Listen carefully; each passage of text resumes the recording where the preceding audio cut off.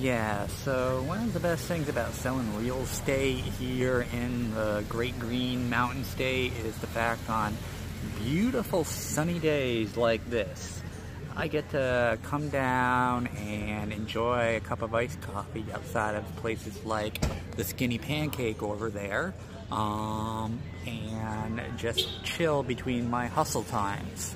Uh, so if you need anything, uh, reach out to me, Michael Dumont, okay? Uh, see you later.